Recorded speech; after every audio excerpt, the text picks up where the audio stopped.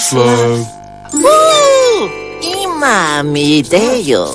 Stvarno, kakav je to osjećaj? Malo čudovišta, trebalo bi zatvoriti i onda baciti ključ. I onda... Zatvoriti, baciti...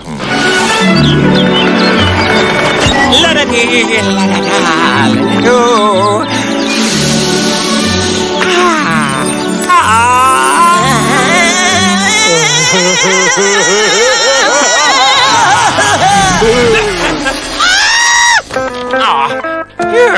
to je bila samo noćna mora.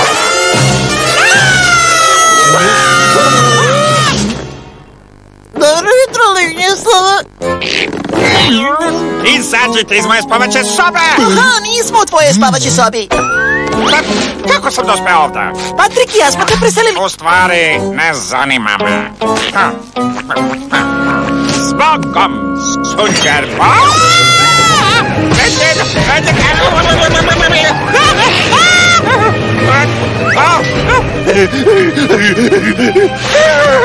Sunđer Bobe, zašto se tvoja kuća vozi po putu? Zato što smo je pretvorili u kamper. Nismo htjeli da propustiš cvetanje tvog cveta. Dobro. Čekaj, ko vozi? Na auto pužuje. Hajde, da doručkujemo.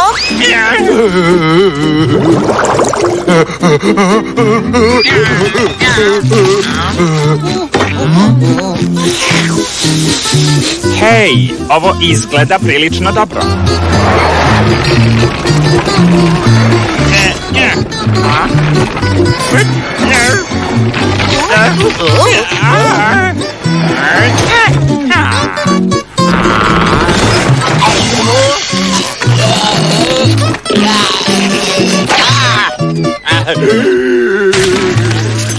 U, poješće što?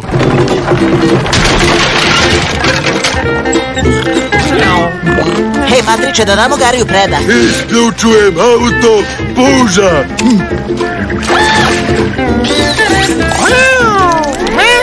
Hej, ho, ho, ho. Da vidimo šta ovaj ananas može. Put zatvoren. To. Idemo na put. Moramo da siđemo s ovog puta. Nema problema.